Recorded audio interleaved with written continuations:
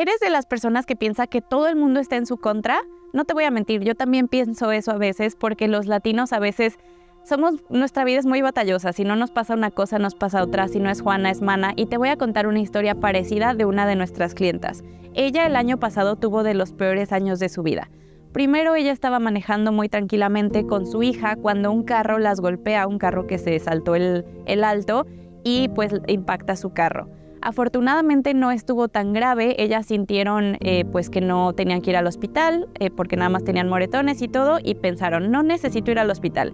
Pero luego llegó la noche y ahí ya no aguantaron del dolor y tuvieron que ir. Muchas veces acuérdate que si te accidentas, tu cuerpo trata de protegerte y por la adrenalina que sientes, que sientes que no te pasó nada o no te duele nada, pero no hay que ser así. Hay que ir al hospital desde el principio para después evitar complicaciones. Fue al hospital, eh, le recomendaron que fuera a fisioterapia y le recomendaron medicamentos y ya.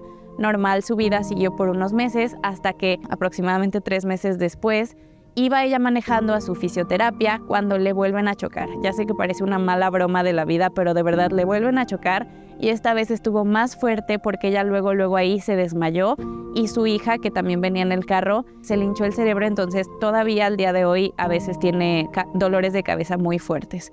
Entonces fueron llevadas al hospital de emergencia y por si fuera poco me vas a decir, Sofía, esta señora no la suelta la mala suerte.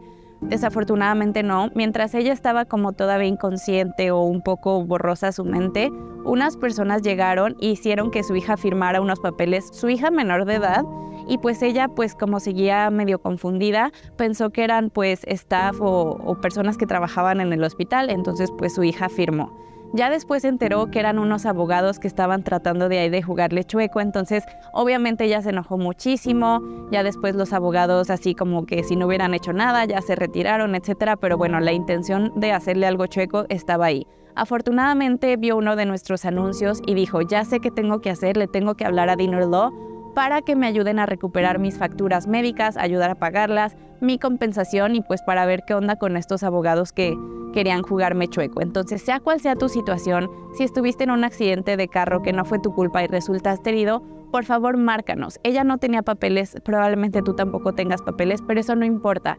De hecho, el, el, hecho de no tener papeles a veces en casos de compensación al trabajador o de lesiones personales es mejor porque te podríamos conseguir hasta más compensación, hasta más dinero. Cada caso es diferente, entonces nos tienes que marcar para ver si tu caso califica. Los accidentes no los podemos evitar, no está en nuestras manos evitarlo, pero si te ha pasado algo en la calle, si te has accidentado, si te chocaron y resultaste herido, necesitas llamarnos, guarda este video porque Dios no lo quiera, ojalá nunca lo necesites, pero si lo necesitas, vamos a estar de tu lado. Hemos ayudado a personas con este tipo de casos por más de 18 años. Guarda este video.